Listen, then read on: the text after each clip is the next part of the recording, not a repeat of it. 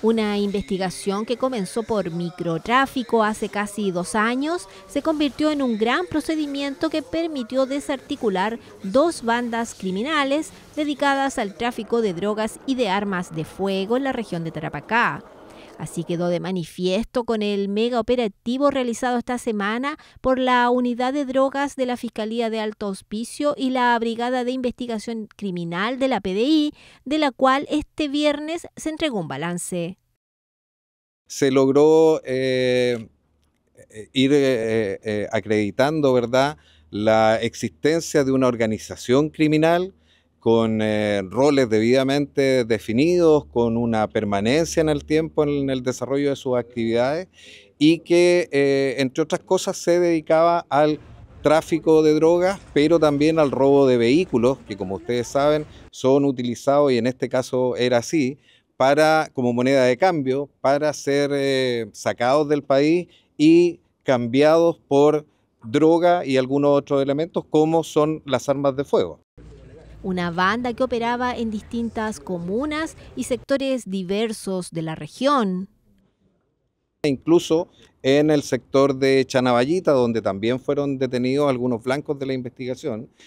Pero eh, fundamentalmente quiero destacar que eh, esta organización criminal tenía o ejercía un dominio y un control territorial muy relevante, eh, particularmente en la comuna de Pozo Almonte, donde tenía su, sus base de operaciones, donde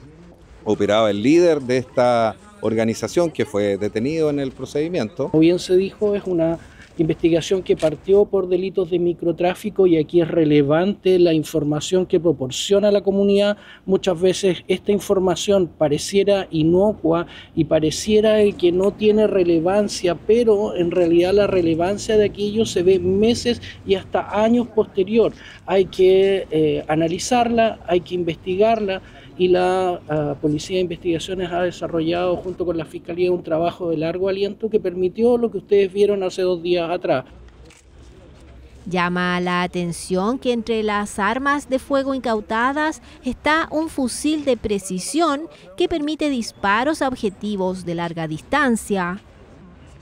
Entre las cuales se destacan cuatro fusiles, ah, calibre 5.56, calibre 7.62 y un fusil eh, calibre .308 que es un fusil de francotirador. Eh, tiene una mira telescópica y tiene un alcance de impacto efectivo eh, superior a un kilómetro. O sea, estamos hablando sin duda de una organización criminal que contaba con un alto poder de fuego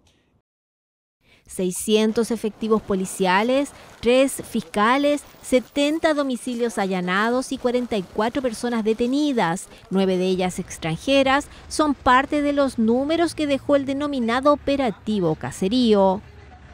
No tengo memoria que se hayan allanado 70 domicilios de manera simultánea, con todo un trabajo logístico para no levantar sospechas de que había una operación en curso, con una reserva de la información que efectivamente pudo garantizar el buen desarrollo de este operativo y con una incautación de armas, de vehículos, de drogas y con la detención del cabecilla y de 44 personas que ponen en riesgo la seguridad de la región y del país. Felicitar y agradecer a, nombre de la comuna de Pozo Monte este, este mega operativo realizado por la Policía de Investigaciones, el Ministerio Público, el Gobierno,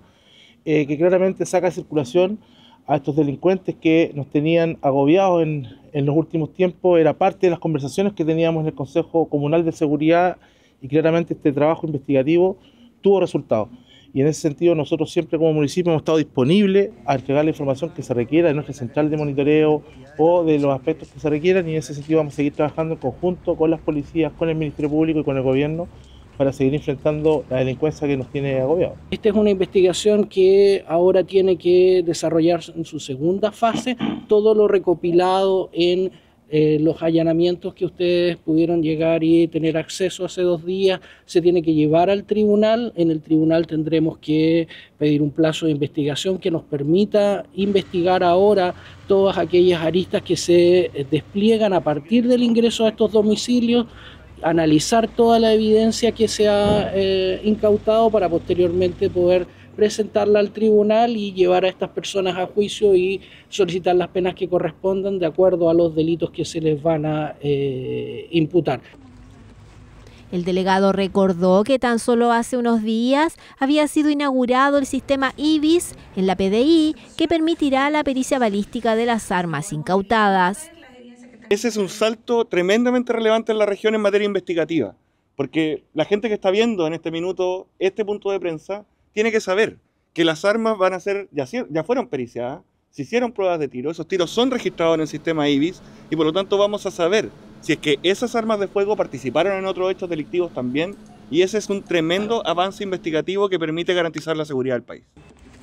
Junto a las armas y municiones se incautó cocaína, marihuana y ketamina, chalecos antibalas, cigarrillos de contrabando, vehículos y dinero en efectivo. Los involucrados van a pasar a control el lunes 3 de junio, luego de ampliarse la detención.